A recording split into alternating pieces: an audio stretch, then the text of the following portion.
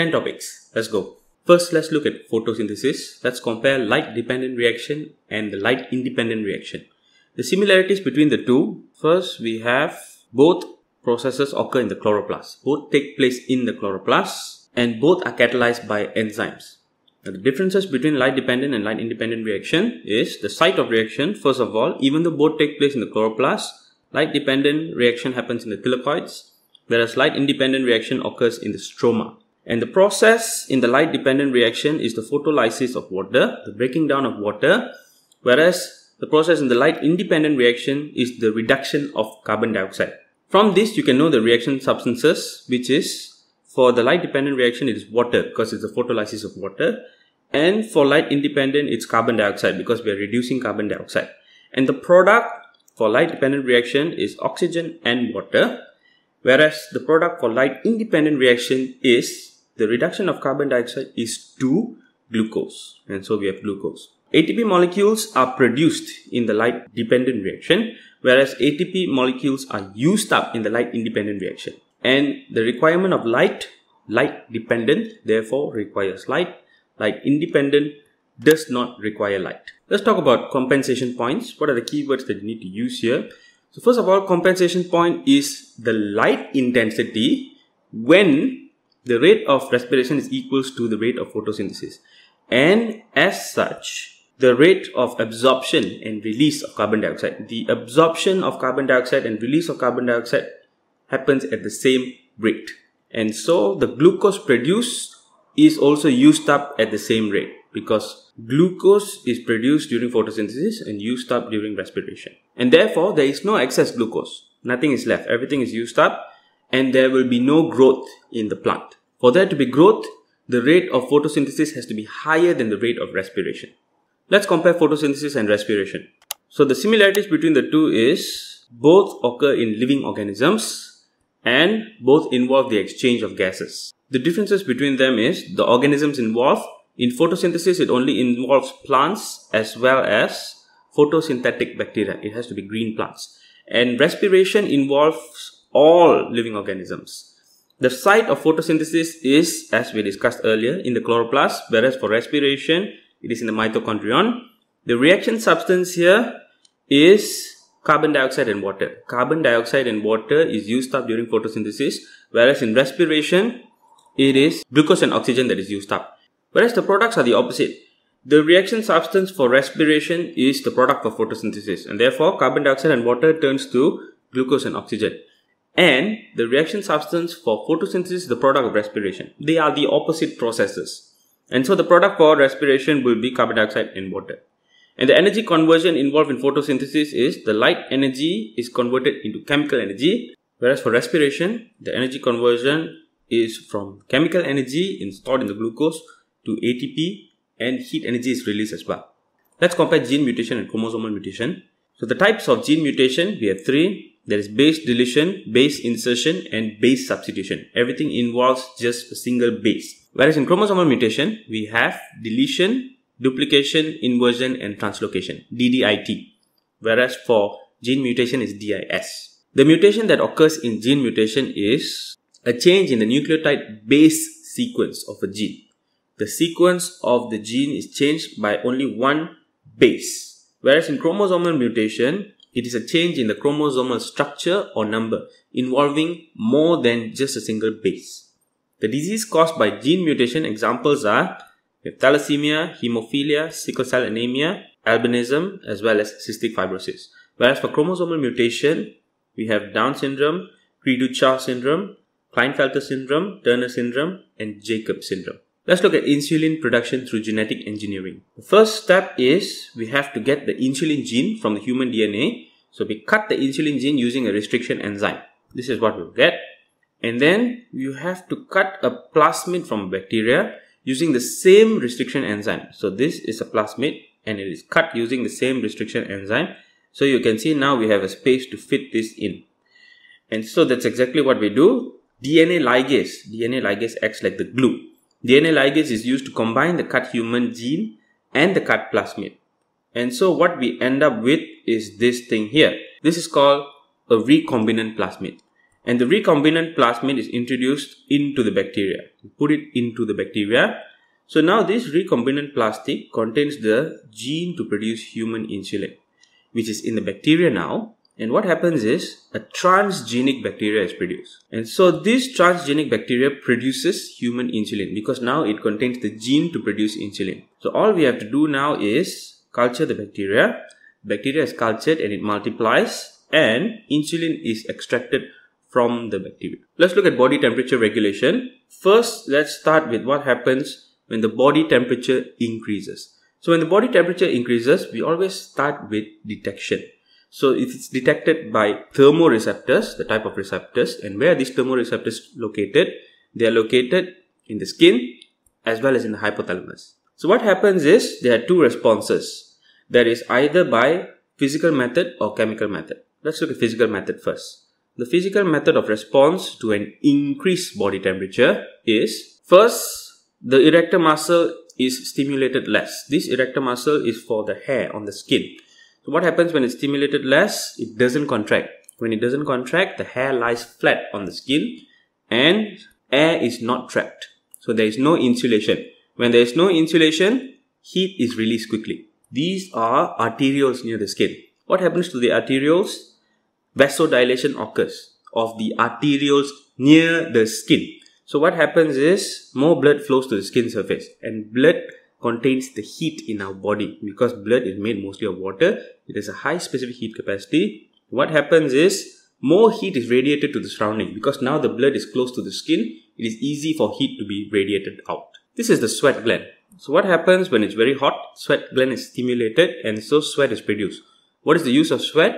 When sweat evaporates from the skin, heat is absorbed. What happens to our skeletal muscles? Skeletal muscles are less stimulated to contract and relax. They are not really stimulated to contract and relax when it's very hot.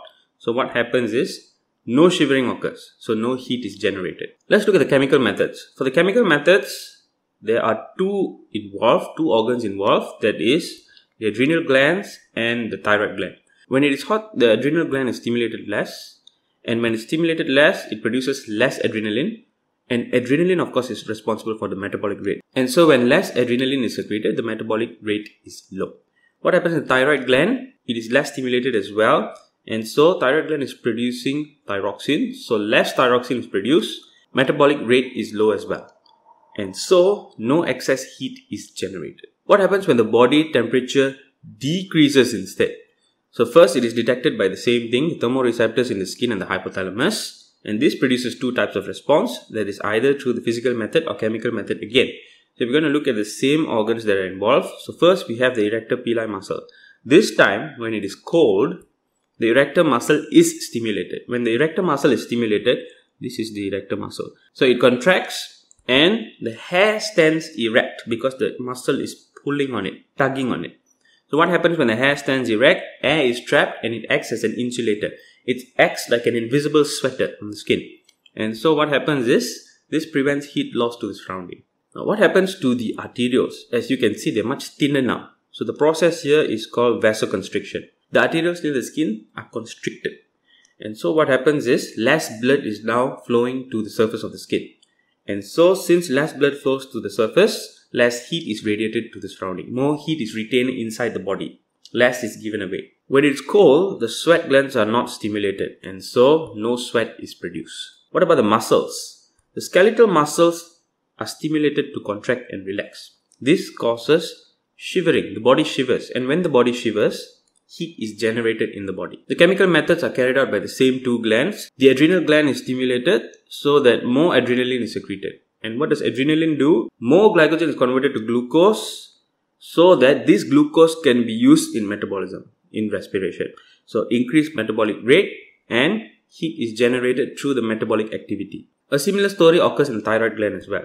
Thyroid gland is stimulated, so more thyroxine is secreted. When thyroxine is secreted, metabolic rate increases and more heat is generated by the body. Let's look at homeostasis. Let's look at blood pressure regulation this time. So there are two situations. Number one is when the blood pressure increases. When the blood pressure increases, it is detected by baroreceptors. Blood pressure is detected by baroreceptors. And where are the baroreceptors located? As you can see here, They are located on the aortic arch as well as the carotid artery. The carotid artery is here. These are carotid arteries. So the baroreceptors are constantly stimulated by blood pressure. So when the blood pressure is high, then they are more stimulated. So the baroreceptors generate nerve impulse and sends the nerve impulse to the cardiovascular center, control center in the medulla oblongata. And what happens as a result of that? Vasodilation occurs. The blood vessel expands. So vasodilation occurs and as a result of vasodilation, so you can see the lumen here is very big.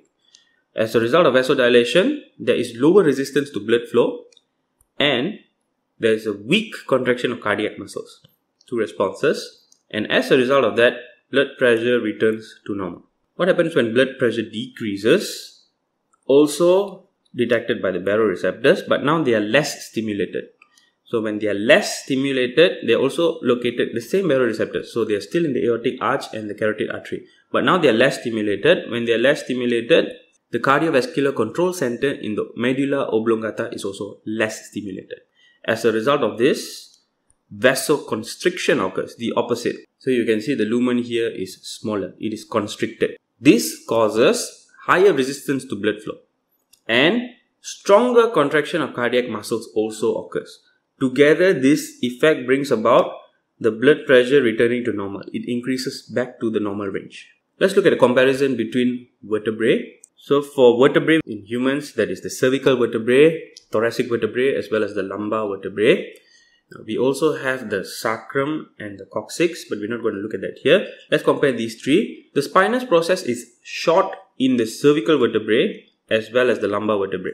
Cervical vertebrae is up near the neck region, lumbar is at the lower back. But for the thoracic vertebrae, the spinous process is very long. In fact, it's so long that it bends downwards. And the transverse process, the process is coming out at the side, the transverse process is very wide and short for the cervical vertebrae. In the thoracic vertebrae, it is long as well. And in the lumbar vertebrae, it is short. All the processes in the lumbar vertebrae are very short. The centrum, on the other hand, the lumbar vertebrae has the largest centrum. It's a very large centrum. It supports the weight of the upper body. Then we have a medium-sized centrum in the thoracic vertebrae. In the cervical vertebrae, the centrum is very small. So you can see as we go from top to bottom, the size increases. But notably, the lumbar is the one that has a very large centrum. And the transverse foramen, foramens are the holes, the holes through which the blood vessels and the nerves go through. So these are only present, the transverse foramen, the four holes at the side are only present in the cervical vertebrae. There are two foramina. There are no foramina in the thoracic vertebrae and the lumbar vertebrae. Let's look at the movement of the human forearm. So the forearm, first we have to recognize our muscles. This here is the biceps Biceps is singular by the way, and this is the triceps, singular as well. So the biceps and the triceps, this bone right here on the top is the radius, the one at the bottom is the ulna, and the ulna connects to this bone right here. This is known as the funny bone because it is the humerus. So what happens when we are trying to bend the forearm? When we want to bend the arm, so first we have to recognize that the biceps and triceps are antagonistic muscles. What's the meaning of antagonistic muscles? They are a pair of muscles where when one muscle contracts, the other one relaxes and vice versa. In the bending of the forearm, the biceps is the one that contracts. This one contracts. So when it contracts, you can see it's attached to this. This here, this white color attachment here is the tendon. So when the bicep contracts, the pull force is transmitted to the radius through the tendon. So you can see the muscle is connected to the bone through the tendon and so this is how the pull force is transmitted and at the same time look at the triceps the triceps relaxes and so this causes the radius which is this bone up here where the tendon is attached to this radius is pulled upwards and this results in the forearm bending what about the straightening instead so the straightening of the forearm, the opposite occurs. Remember, they're antagonistic muscles. So this time, the triceps is the one that contracts. When the triceps contracts, you can see there is a tendon here that connects to this was the ulna. And so what happens is the pull force by the contraction of the triceps is transmitted to the ulna through the tendon. And at the same time, biceps relaxes because They are antagonistic muscles. And so the final effect is that the ulna is pulled downwards. And so the forearm is straightened. All the best guys. If you've learned something from this, please do hit that like button. Don't forget to check out these two videos.